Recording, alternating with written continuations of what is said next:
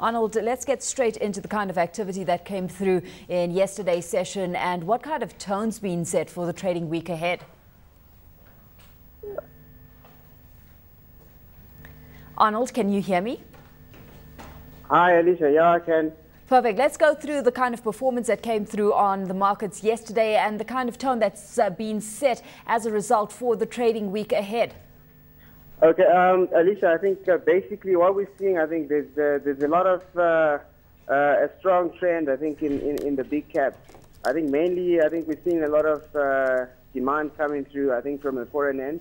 Uh, we saw Econet, I think, hitting a, a year high at, at a price of around 485 cents uh a share. this is a year-to-date high for, for Econet. And, and basically, I think it's been driven on the back of I think uh, we're now in the sort of uh, period when they're about to announce their results. And there's more expected from Econet, and basically it's like your benchmark for our market, it and, and Delta. I think uh, we should see more demand continue coming through from there. And going through into the week, I think we, we expect uh, the, the key drivers to be mainly the, the, the big caps, um, as more, more and more people buy into those.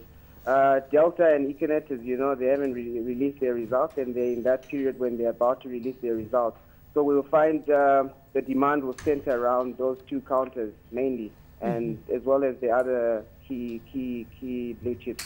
Oh, key to that is Innscor. I mean, let's take a look at uh, that activity. We had uh, this uh, share price gaining to around about that 76 cents mark, uh, representing the only movement uh, along with Econet amongst the big caps yesterday. So what's driving sentiment on that front, Arnold?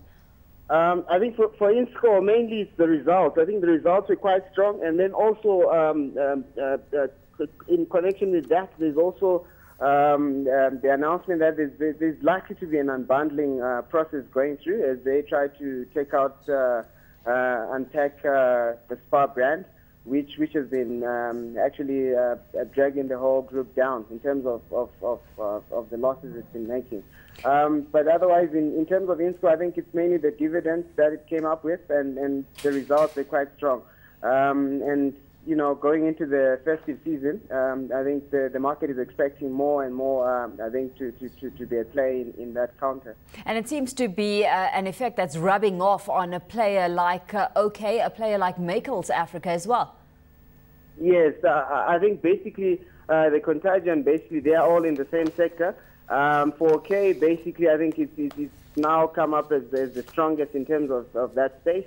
Um, there's a lot of uh, activity and demand coming through. Uh, the market is expecting more more to happen within uh, that sector. For Meikles, again, you, you, they already tied up a, a, transaction and they, they've teamed up with Pick n Pay. I think the market has received that uh, strongly and they're, they're positive about the, that move. So we should see more, more and more uh, demand coming through Meikles uh, from that perspective.